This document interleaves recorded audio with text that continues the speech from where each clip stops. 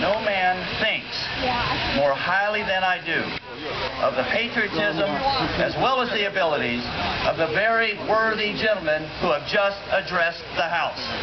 But different men often see the same subject in different lights.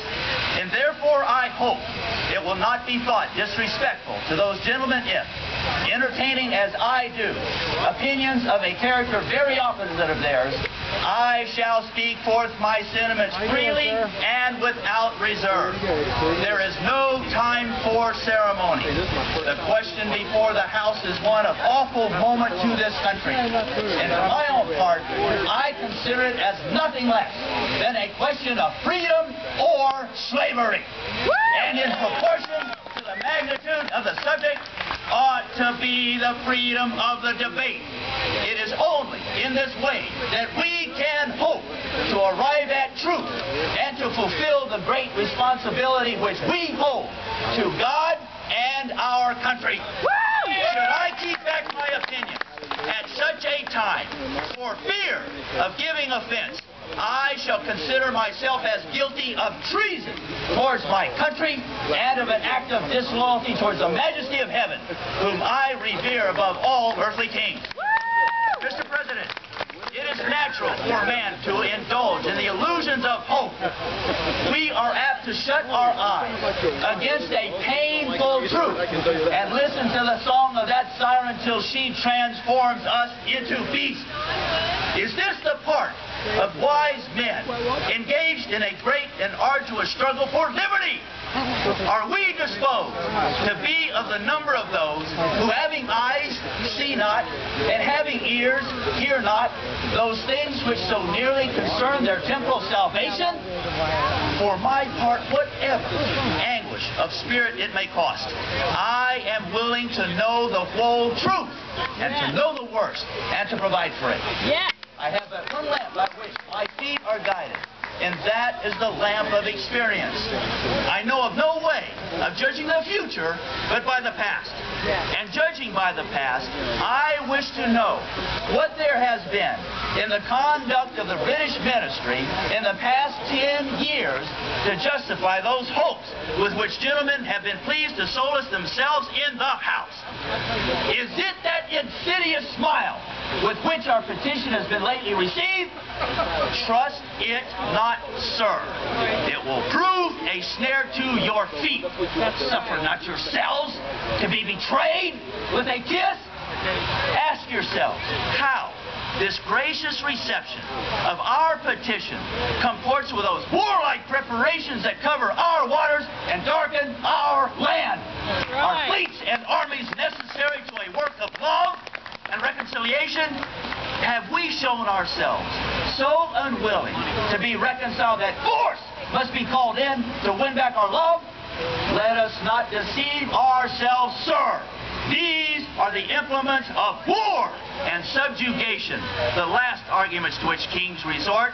I ask gentlemen, sir, what means this martial array? If its purpose be not to force us into submission, can gentlemen assign any other motive for? Has Great Britain any enemy in this quarter of the world to justify all this accumulation of navies and armies? No, sir! She has none. They are meant for us, and they cannot be meant for any other. They are meant to bind and rivet upon us those chains which the British ministry has been so long forging. That's right. And what have we to oppose them? Shall we try argument? Sir, we've been trying that for the past 10 years. have we anything new to offer upon the subject? Nothing! We have held the subject up in every light of which it is capable, and it has been all in vain. Shall we resort to entreaty and humble supplication? Terms shall we find which have not been already exhausted? Let us not, I beseech you, sir, deceive ourselves. We have done everything that could be done to avert the storm that is now coming on. We have petitioned. We have remonstrated. We have supplicated.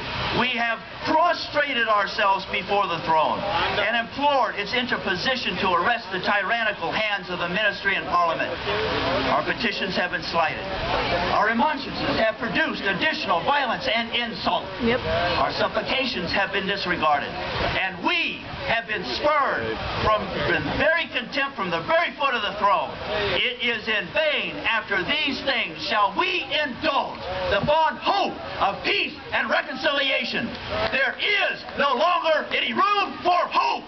If we wish to be free, if we mean to preserve inviolate those inestimable privileges for which we have been so long contending, if we mean not basely to abandon the noble struggle in which we have been so long engaged, and which we have pledged ourselves never to abandon until the glorious object of our contest shall be obtained, we must fight. And I repeat it, sir, we must fight. Sir, that we are weak, unable to cope with so formidable an adversary. But when shall we be stronger? Will it be the next week?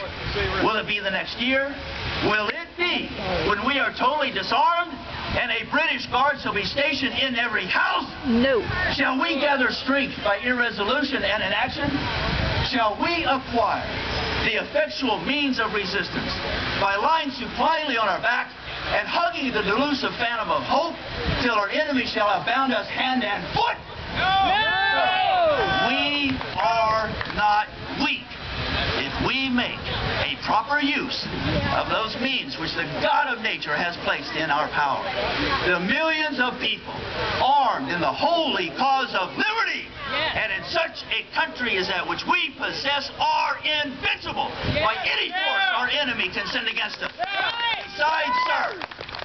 Besides, sir, we shall not fight our battles alone. There is a just God who presides over the destinies of nations right. and who will raise up friends to fight our battles for us. The battle, sir, is not to the strong alone. It's to the vigilant, the active, the brave. Besides, sir, we have no election. If we were base enough to desire it, it is now too late to retire from the contest. There is no retreat but in submission and slavery. Our chains are forged. Their clanking may be heard on the plains of Boston. The war is inevitable and let it come. And I repeat it, sir. Let it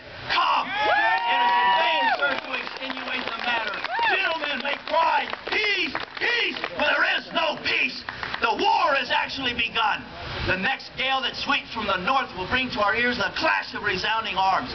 Our brethren are already in the field. Why stand we here idle? What is it that gentlemen wish? What would they have? Is life so dear and peace so sweet to be purchased at the price of chains and slavery? Forbid it, Almighty God! I don't know what course others may take, but as for me,